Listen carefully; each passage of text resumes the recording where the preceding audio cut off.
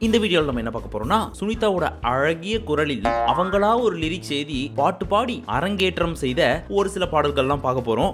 தொடுத்தவங்க தொடுத்தாத தூக்கம் வந்தா தூங்காத ஒடுத்தாலையா ஜொடுத்தாலே எப்படி சிக்கிரிக்கம் பாத்தியாப்பா? இதுல வருத்தமான விஷயம் என்னன்னா நம்ம சுனிதா குக் வித் கோமாளிக்கு சீசன் டூல தான் வந்திருக்காங்க. சீசன் ஒன்ல கிடையாது. ஒருவேளை சீசன் ஒன்லயும் இருந்தாங்கன்னா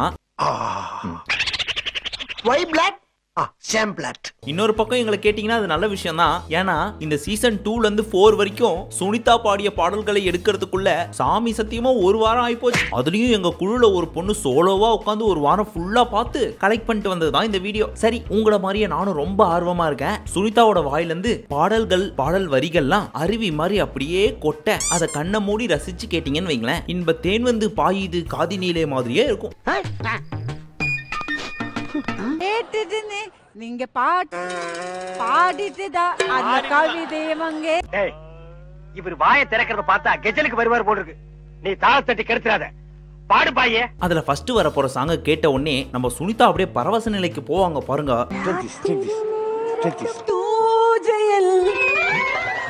சரியான பாட்டு. உள்ள குத்து விளக்கு வெளியில கும்தலக்கவா அந்த பாட்டை ப்ளே பண்ண உடனே நம்ம சுனிதா முகத்துல ஒரு ஜேசுதாஸே தெரிஞ்சார் பாத்தீங்களா? அதெல்லாம் சரி இந்த பாட்டு இந்த அம்மாக்கு எப்படி தெரியும்? அப்ப நம்ம சுனிதாவும் வீட்ல உட்காந்து ஃபீல்ட் ஒர்க் பண்ணிருக்காங்களோ? கிட்ட வந்து பேசாதயா பேட்ஸ்மேன் அடிக்குது. அதுலயும் அந்த ஜின்சக்கு ஜின்சக்குன்னு வந்த உடனே டான்ஸ் ஆனது மட்டும் இல்லாம எனக்கு ரொம்ப பிடிச்ச பாட்டு. அப்படின்னு சொல்லி ஒரு கோரஸ் கொடுப்பாங்க பாருங்க. காய்கறிலே பிடிக்காத ஒரே கொஞ்சம் ஓவரா தான் போய்கிட்டு இருக்கோமோ? அதுலயும் முக்கியமா நம்ம பாபா மாஸ்டர் வருத்தப்பட்டு எனக்கு காய்கறில ஏதோ பிடிக்கல அப்படின்னு ஆர்வமா சொல்லிட்டு இருக்கிறாரு. யோ நீ எங்கேயோ ஓரமா போய் கத்தினுங்கடா. எப்பேற்பட்ட பாட்டு ஓடிட்டு இருக்குதே. இப்போ வந்து காய் சரியில்லை. சரியில்லை நீட்டு அப்படின்னு பரவச நிலையை அடைந்து விட்டார் நம் சுனிதா. பூஜையில். சரியான பாட்டு. எங்கம்மா? ஒரே ஒரு கந்த ஹா ஹா. சொல்லுமா? சிம்ரன்ஸ் என்னடா இது? என்னம்மா இது? இது எல்லாத்த விட அல்டிமேட் என்ன தெரியுமா? அடுத்து நம்ம சுனிதா ஒரு பாட்டை பாடுவாங்க. அந்த பாட்டை கேட்டதுக்கு அப்புறம் நம்ம மக்கள்லாம் ஒரிஜினல் சாங்கையே மறந்துட்டேன். சுனிதா பாடுறது தான் ஒரிஜினல் லிரிக்ஸ் அப்படின்னு நினைச்சுக்கிட்டேன். அதே பாடிட்டு சுத்திட்டு இருக்குதுங்க. சிங்க பெண்ணு சிங்க பெண்ணு அதுலயும் முக்கியமா பாடி முடிச்சதுக்கு அப்புறம் ஒரு ஆக்ஷன் காட்டுவாங்க பாருங்க. அதை பாக்குறப்பவும் சரி கேக்குறப்பவும் சரி. உண்மையிலே இந்த மாதிரி ஒரு லாங்குவேஜ் இருக்குதோ? இதுதான் ஒரிஜினல் லிரிக்ஸோ ஏஆர் ரஹ்மான் தான் சுனிதா கிட்ட இருந்து காப்பி அடிச்சு டப்ஸா அடிச்சிட்டாரோ? அப்படின்னு உங்களுக்கே சந்தேகம் வர்ற அளவுக்கு நம்ம சுனிதா கான்பிடென்ட்டா பாடுவாங்க பாருங்க. நன்றி கடல் தூக்கு பச்சே. இதெல்லாம் கூட பரவாயில்ல. ஒரு பாட்டு பாடுவிய. என்னைய புல்போக்கு இல்லைனா நம்ம ஜெயிச்சே செத்தேரமோ? அதை கேட்கும் போதெல்லாம் என்னை யாரும் தேட வேண்டாம் அப்படின்னு எழுதி வச்சுட்டு எங்கேயாவது கண் காணாத இடத்துக்கு போயிடலாம் போல தோணும். ஆகாயம் தீ பிடிச்சா நிலா தூங்குமா? இந்த பாட்டை நீங்க கேட்டிருப்பீங்கல்ல? கேட்டிருப்பீங்க. அண்ட் ஒரு சிலருக்கு அந்த லிரிக்ஸ் மனப்பாடமா கூட தெரியும். ஆனா நம்ம சுனிதா பாடுறது கேட்டதுக்கு அப்புறம் இந்த படத்தோட டைரக்டரான பாரஞ்சித்தே கன்ஃபியூஸ் ஆகிற அளவுக்கு பக்காவா லிரிக்ஸ் எழுதியிருப்பாங்க நம்ம சுனிதா. கேளுங்களேன். நீ எல்லாம் தேங்க மனா தேங்க சாப்பிடுமா என்னது? தேங்க சாப்பிடுமா அட இது என்ன அற்புதம்? இப்போ ஒரு பாட்டு பாடுவாங்க. அதை நம்ம செஃப் தாமுப்பா இருக்கார் இல்லையா? அவர் தான் எனக்காக ஒரு பாட்டு பாடுறா அப்படின்னு ஆர்வமா கேட்டிருப்பா அப்படி நம்ம சுனிதாவும் ஆஸ் யூஷுவல் கான்பிடென்ட்டாவும் தாமுப்பாவை பத்தி பெருமையா பாடுறோம்னு நினைச்சுக்கிட்டு எப்படி டேமேஜ் பண்ணி வச்சிருப்பாங்கன்னு பாருங்க. நான் பார்த்ததுனே அது ஒரு தெருதான் அது அழகிலேயே. என்னடா பொசுக்குன்னு மலையாளம் பேசிவிட்ட? நான் கேட்டுதுனே நீங்க பாட்டு பாடிட்டுதா.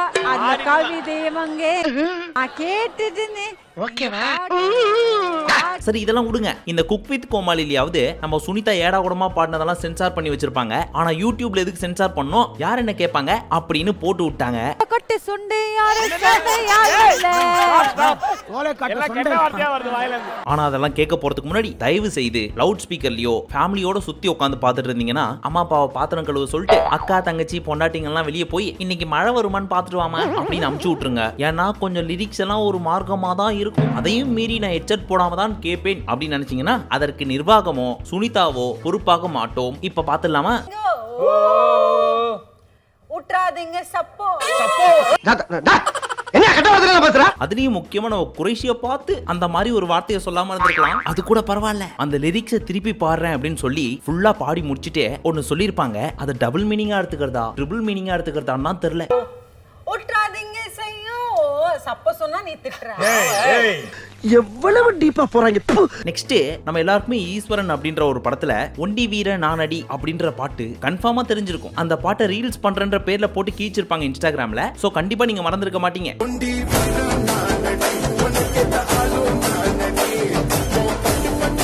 அந்த பாட்டை தான் நம்ம சுனிதாக்கா இப்ப பாட போறாங்க. ஆனா இது வரைக்கும் இந்த பாட்டுல எல்லாத்துலயும் ஸ்டார்டிங்ல கரெக்டா போய் நடுவுல தான் புது லிரிக்ஸ் ஆட் பண்ணுவாங்க. ஆனா இந்த பாட்டை பாடுறப்போ ஸ்டார்டிங்லயே காது ஜவ்வே கீஞ்சு போற அளவுக்கு ஒரு வார்த்தையை போட்டு பாடுவாங்க. அதை கேட்க போறதுக்கு முன்னாடி மக்களே மறுபடியும் சொல்றேன். குடும்பத்தோட உட்காந்து பார்க்க வேண்டாம் வேண்டாம் வேண்டாம். அப்படின்னா அது பாட்டு அப்படின்னு கேக்குறீங்களா? ரெடி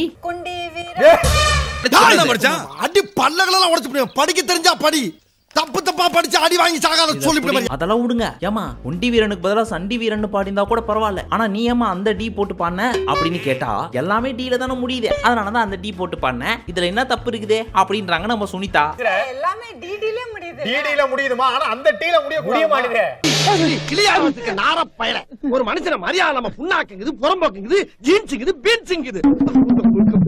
ஆனா கொஞ்சம் யோசிச்சு பாருங்க. ஒருவேளை அந்த ஒண்டி வீரன் மட்டும் ஒண்டி வீரனா இல்லாம நம்ம சுனிதா சொன்ன மாதிரி அந்த டி வீரனா இருந்திருந்தா அந்த வீரன் எப்படி இருந்திருப்பான்? குண்டி குண்டி